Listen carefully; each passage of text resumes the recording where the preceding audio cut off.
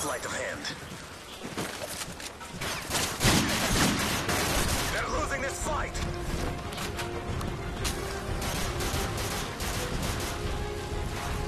Sleight of hand.